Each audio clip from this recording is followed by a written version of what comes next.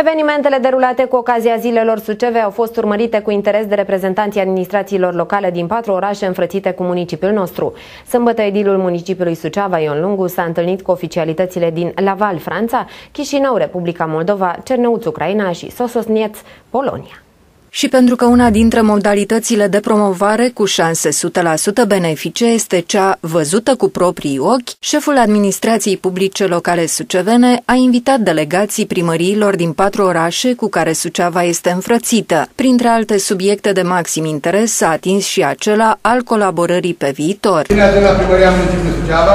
Soyez bienvenue la Hotel du Ville de Suceava. În acest moment important din viața orașului nostru, zilele orașului, Euh, pendant ces, ces périodes très importantes pour euh, la vie de notre ville, de ses habitants, les jours de la ville.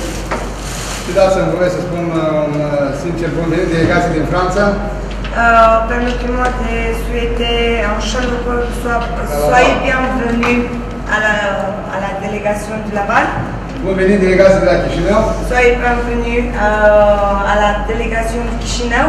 Și am viitor așteptăm domnul Chirtoacă, rămânem cu elicopterul direct de la... Et là, qui vient, on attend monsieur Kirtoak aussi. Bun venit delegația de la. Et soyez bienvenue à la délégation de Sosnovietz, Pologne. Cred că avem cu toții de învățat în aceste schimburi de experiență.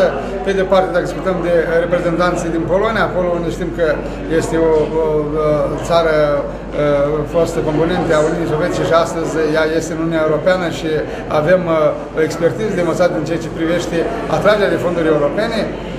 Cât privește relațiile cu Franța, se știe că avem o relație de colaborare foarte importantă cu orașul Laval.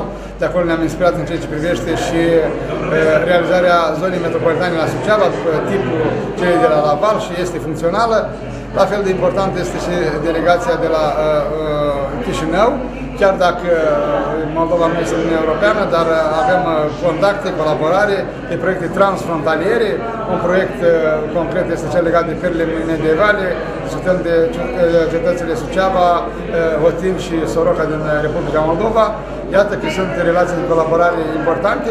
Ne dorim ca pe viitor să avem un parteneriat de colaborare punctual cu cei din Chișinău, din Republica Moldova și sper că acest lucru se va întâmpla în perioada următoare, atunci când voi avea din nou întâlniri cu domnul primar general al Chișinău, domnul Dorin Chirtoacă.